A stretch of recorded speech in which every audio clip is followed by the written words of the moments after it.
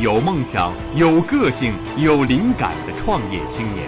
我就是玩酷的、玩炫的，青春就是永不言败。他们激情澎湃，踌躇满志，百折不挠。我的青春我做主。他们是象牙塔里走出来的创业者，立志追求人生梦想，开辟自己的天地。我就是 CEO，年创收二十多万。民生六号线推出特别策划《创青春》，与您一起享有人生出彩的时机，敬请收看。民生六号线推出特别策划《创青春》，与您一起享有人生出彩的时机。每个创业者都有不同寻常的创业故事，虽然故事各不相同，但是却一样的精彩。今天我们就来认识一位创业者，他出生在农村，从小和妈妈以及哥哥相依为命，没有任何创业基础的他，凭借着一己之力，在我省的进出口贸易领域开辟出自己的一片天地。嗯，咱二月份就结束了。结束了，但是这个我们每一个人都是有这个业绩目标的，出现少爷的业绩目标嘛。今年二十八岁的王振中是石家庄阿曼达进出口贸易有限公司的创始人。从二零一二年王振中创立这家公司到二零一五年，仅仅四年，王振中的公司年营业额就达到了三百多万元。谁也没有想到，这名创业成功的年轻人，大学刚毕业时却差一点成了就业的弃儿。呃，我大概面试了五家公司吧，那时候就说每一家公司都不要我，然后我就特别受打击。一次偶然的机会，王振中和三名同学找到了衡水安平一家做过绿丝网的公司，从事进出口贸易工作。而就是这份工作，让他认识到了自己的不足。接待一个乌克兰的客户，呃，然后我我不会讲英语。我就找那个大堂的经理去去帮我，那是我的一个刺痛。我就觉得酒店的一个大堂经理说英语都说的这么好，那么我们干的是外贸行当，我们的英语我们都说不了。啊，当我上了楼以后，客户说的英语我一句也听不懂，然后我说的英语客户也听不懂。因为交流困难，王振中只好把客户硬拉到了卫生间，打开水龙头冲样品，想告诉客户这款过滤产品的使用效果。然而他的推介并没有得到客户的认可，最终公司损失了本该到手的一百六十万元的订单。这一次的挫折让王振中决心学好英语。大早上五点钟开开灯，在屋里边再走圈再读英语，因为我不走圈的情况下，我会困，我会睡着。一年来，王振中一边自己学习，一边工作。他的坚持得到了老板的赏识。二零一二年，因为自身原因，王振中打算辞职回到石家庄。临走时，老板的一番话给了他创业的启发。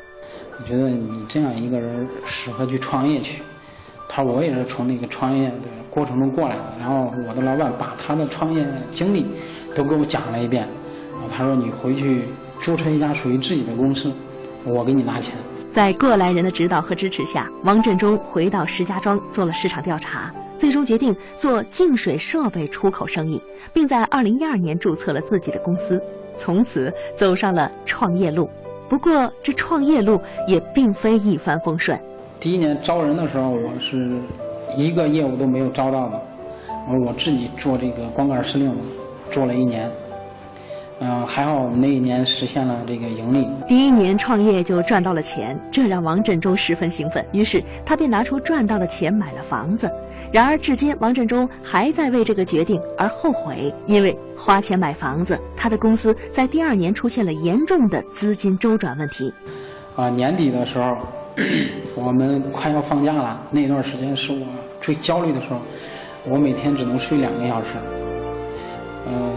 说这个资金压力是是很大的，因为睡眠的不足，所以那个眼睛就每天都是红肿的，每天都要啪啪的流泪。王振中告诉记者，因为自己的决策失误，二零一三年他经历了创业的最低谷。为了找钱，他借遍了身边所有的亲戚朋友，母亲也将辛辛苦苦打工挣来的钱全部给了他。直到二零一四年年初，他从信贷公司申请到了十万元贷款，公司才度过了难关。从那以后，王振中再也不敢冒进，而是将所有赚到的钱合理规划投入公司运营。一五年我们在开总结会的时候，我哭了。我觉得我那是我创业的第三年嘛，我就觉得，我说我很荣幸我活下来了。